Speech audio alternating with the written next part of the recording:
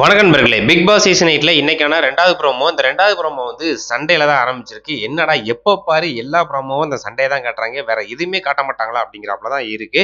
அதுல வந்து பாத்துட்டீங்கன்னா குறிப்பா மஞ்சரிக்கு நம்ம அருணுக்கு வந்து பாத்தீங்கன்னா பெரிய சண்டையா வெடிச்சது வந்து பாத்தீங்கன்னா கேர்ள்ஸ் டீம்ல இருக்க நிறைய பேர் வந்து பாத்துட்டீங்கன்னா பவித்ரா ஜாக்குலின் அதுக்கப்புறம் நம்ம சௌந்தர்யாலாம் வந்து அருணுகிட்ட அப்படி போர்ஸா சண்டைக்கு போறாங்க. இது ஆல்மோஸ்ட் இதை பார்க்கும்போது வழக்கம் போல இது பிராங்கா தான் இருக்குமா அப்படின்னு சொல்லிட்டு எல்லாருமே முடிவு பண்ணாலும் ஆல்மோஸ்ட் இது வந்து ஒரிஜினலா தான் இருக்க வாய்ப்புகள் இருக்கு அப்படிங்கிறாப்புல அடுத்தடுத்த ப்ரோமோ வந்ததுக்கப்புறம் முடிவு பண்ணக்கூடிய ஒரு நிலைமையில இருக்கு. இதுல குறிப்பா சொல்லணும் அப்படின்னு பார்த்தோம்னா அந்த பிராங்க் அப்படிங்கறத வந்து பாத்துட்டீங்கன்னா நம்ம முத முதல்ல ரஞ்சித் அண்ட் ரவீந்தர் பண்ண அந்த பிளான் தான் வந்து பாத்துட்டீங்கன்னா பிராங்கா போனிச்சு அதையே வந்து பாத்தீங்கன்னா சீசன் ஃபுல்லா கொண்டாடுறாங்க போல. ஸோ அவர் பண்ணப்ப அது ஒரு தப்பா காட்டி அவரை வந்து எலிமினேட் பண்ணி வெளியே அனுப்புனாங்க. அதுக்கப்புறம் நிறைய தடவை வந்து இது பிராங் பிராங்க் அப்படின்னே சொல்லிட்டு வந்து பார்த்தீங்கன்னா பண்ணிட்டு இருக்காங்க.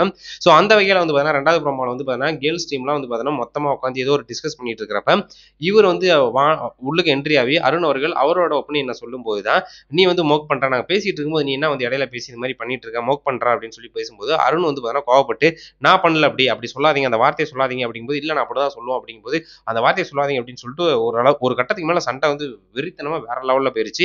அப்பதான் வந்து பார்த்தீங்கன்னா சௌந்தர்யா பவித்ராலாம் வந்து பேசினாங்க நீ இடையில வந்து பேசாத நீ எப்போ பாரு இப்படிதான் பண்ற எல்லாருக்கிட்டையும் இது மாதிரி தான் நடந்துக்கிற அப்படின்னு சொல்லிட்டு பவித்ரா ஒரு சைடு பொங்க ஆரம்பிச்சதுக்கு அப்புறம் சும்மா இருந்த ஜாக்குலின் அவங்க ஒரு சைடு தாண்ட ஆரம்பிச்சிட்டாங்க.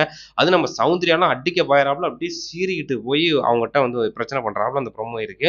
ஸோ ஆல்மோஸ்ட் வந்து பார்த்தீங்கன்னா அருணை வந்து பார்த்துட்டீங்கன்னா எல்லாருமே டார்கெட் பண்ணி இந்த மாதிரி பண்ணிட்டு இருக்காங்க அப்படிங்கிறப்பல தோணுனாலும் ஸோ முத்துக்குமார் மற்ற எல்லாருமே வந்து பார்த்தீங்கன்னா அவங்கள சமாதானப்படுத்தி கூட்டு வந்துட்டாரு. அருணுக்கு வந்து முத்துக்குமாரோட சப்போர்ட் இருக்கு. அவர் வந்து அப்படி பெருசாக ஒன்றும் பேசிடல.